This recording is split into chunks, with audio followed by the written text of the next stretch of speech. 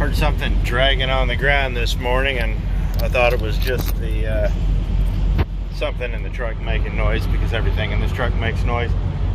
So I went ahead and uh, stopped there, took my shower, looked out, and my exhaust clamp was broken. It's this thing here. Yeah, you'll break one of these about every two, three years. They're just cheap. So I might go down and see if they got one or a reasonable facsimile of it.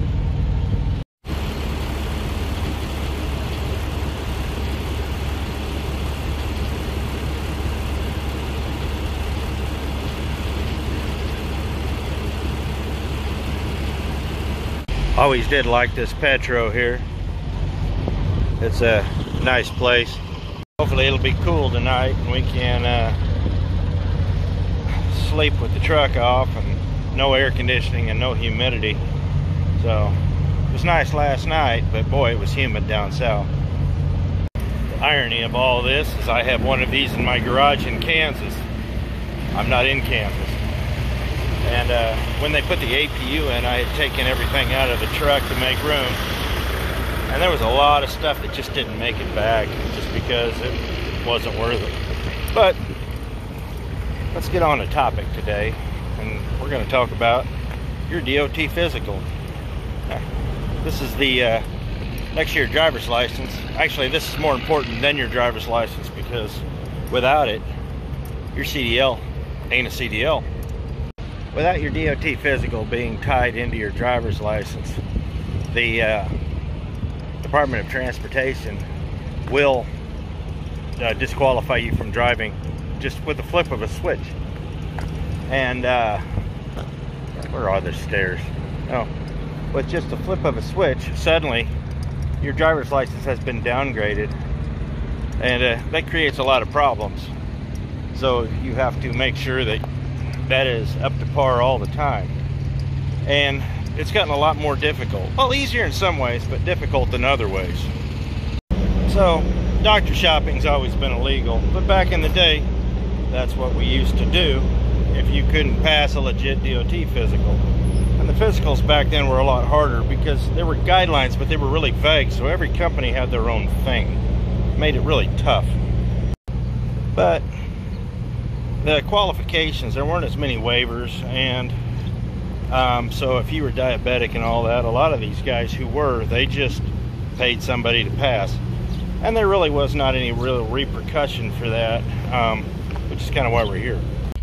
So, as any opioid dealer in county will tell you, doctor shopping is very illegal. Now, so that went on. Well, it still wasn't being reported, so they decided to make the driver's report a few years ago.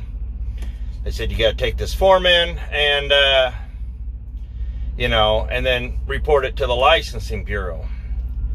So some of that is still going on, but a lot of the penalties for the doctors got uh, really serious, and certain other things started coming into effect, like your weight, diabetes, and a lot of things of that nature.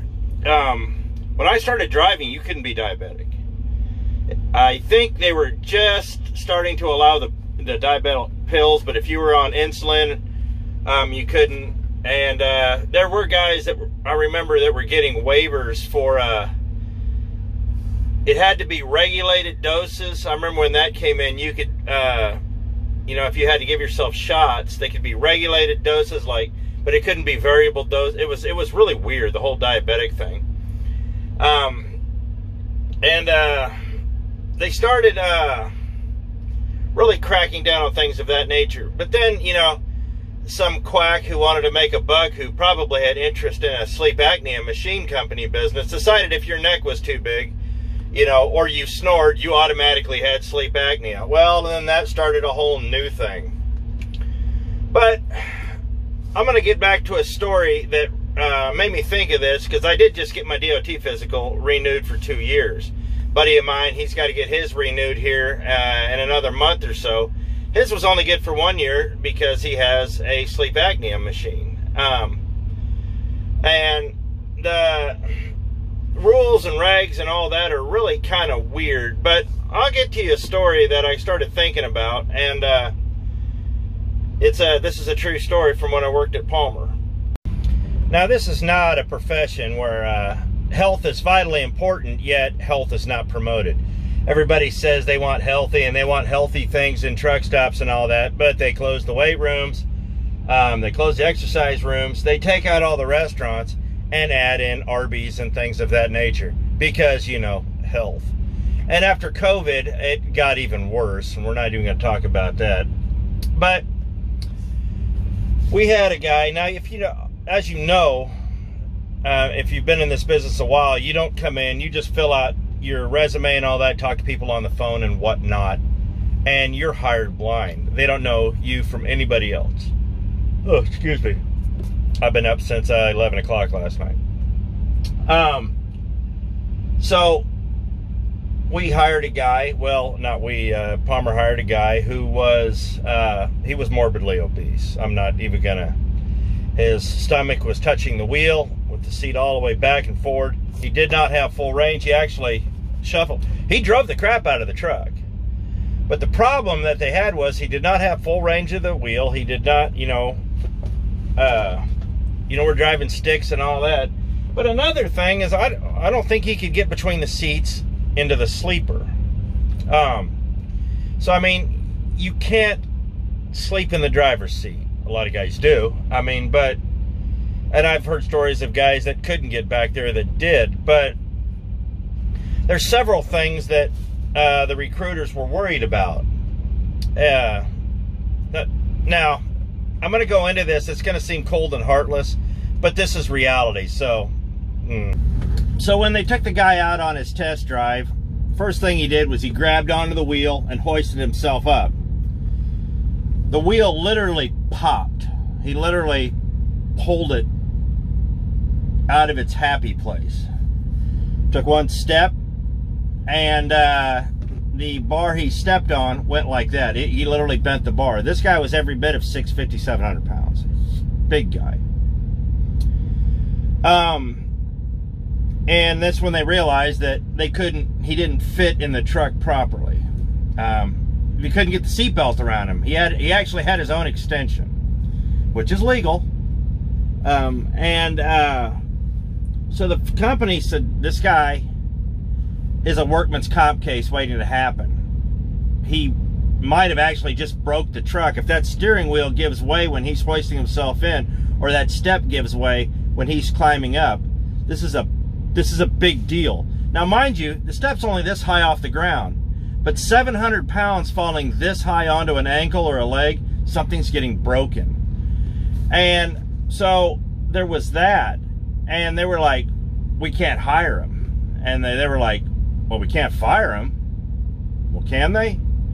So what ended up happening was they got workman's comp lawyers. They got their lawyers. They got the DOT in there. They got there was a week's conference to find out if they could legally, if they had to legally hire this guy, because they'd already hired him on paper. They had to find out if they could actually legally keep him or if they could let him go. And it turns out that they didn't have to keep him. They had they had they let him go and they did it legally. And uh, I mean, I felt bad for the guy. The guy was hoping for a job. But these are the uphill battles that we as drivers are fighting. Um, your weight is a huge deal. It's a lot more than people think. Now, just because you passed a DOT physical um, doesn't mean it's okay. Uh, you know, it, it actually doesn't mean it's okay. There, there's still guys buying their physicals. There's still got doctors that just hand them out because they don't want to deal with them. A lot of times the tests are just compulsory. They just like, nah, here you go. Um, and uh, so that's what you're kind of dealing with. And uh, like I said, diabetes is a big thing. Your weight is a big thing. Your weight's a huge thing. And it opens you up for diabetes screening and sleep apnea. Now, they've really relaxed on the sleep apnea stuff. Um, it started being more of a money game. And a lot of guys that were getting diagnosed with sleep apnea didn't have it. They were just trying to stick the insurance company with 1600 bucks worth of machine and all the accessories and accoutrement and the, the money's made after the fact trust me on that so can they uh yeah, they can. If you can't physically do the job performance wise, they don't have to hire you. Something to remember. So, I was looking at all the points, and it's a very, very serious thing to be caught um, with without a health card or with an expired health card or with not with an expired with a revoked health card. Um, a revoked health card is equivalent to in the CSA world to getting a DUI. It's it's at the top with with all of it. Um, and look it up. So you have to be mindful of things like this. Now, this doctor shopping that's happening by 2025, it's over because you no longer are going to be going to uh, the DMV and turning the paperwork in yourself or your company's not. It will be going straight from the doctor to the uh, to the DOT. No middleman. It's going to be going straight from this database to this database. And if you fail, it's going to go straight from this database to this database. It's going to put an end to a lot of things. This is why it's so important right now in the next year or so to get yourself in shape. And uh, I'm going to tell you, you new drivers, listen up. You new drivers, you don't have to believe me, but trust me when I tell you this. Your weight in your first two years, setting your proper eating habits and taking care of yourself is vital. Especially uh, the older people. Um, your metabolism isn't what it used to be. I have managed to lose a lot of weight driving a truck, and uh, legally. I went on several specific. I went on a specific diet that I'm not going to endorse just because I don't want to get dinged or anything. Um, and I had to change my whole life. I lost uh, 80 pounds. Now I put a few of it back on, but nothing nearly where I was. I was also a very heavy smoker, and uh, you know I was smoking two and a half packs a day. That didn't help, and that right there will affect me for the rest of my life because I have lung damage from being in the army on top of being a very heavy smoker.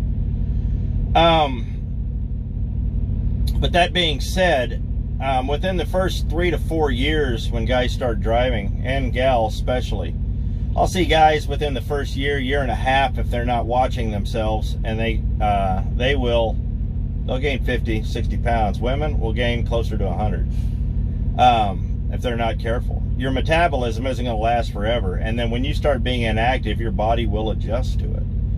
Uh, I'm not a doctor. It's just what I've seen. So you really want to start taking care of yourself um, right from the get-go. Uh, these truck stops are, it's getting harder to find good things to eat and healthy things to eat. Um, I don't recommend eating uh, 12 ounces of cheese curds in one sitting. That, let's just say that didn't end well. Um, but it was damn near an end.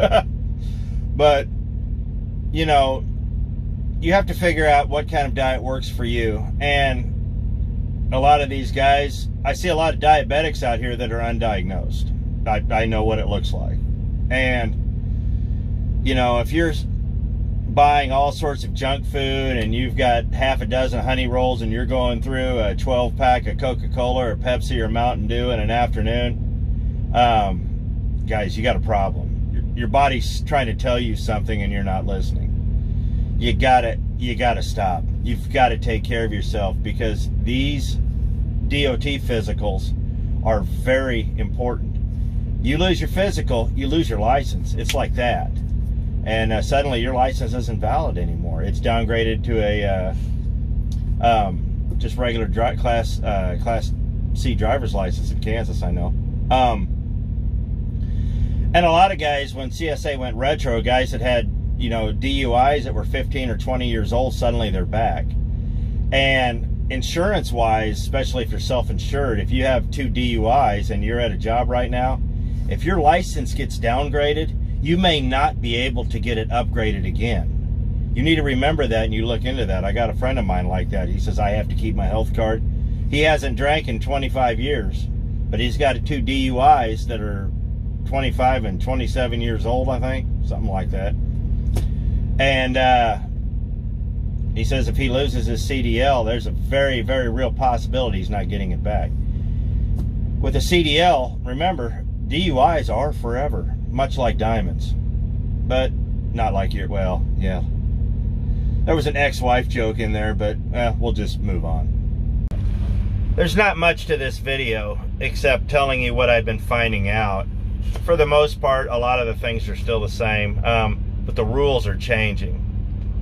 Uh, diabetes is coming back. They're going to start cracking down on that here soon. Um, they're going to start cracking down on uh, obesity here soon. I mean, they're going to start cracking down on a lot of stuff. You know, it's not prejudice, it's not racist, it's not anything. It's companies, when they hire you, they're hiring you.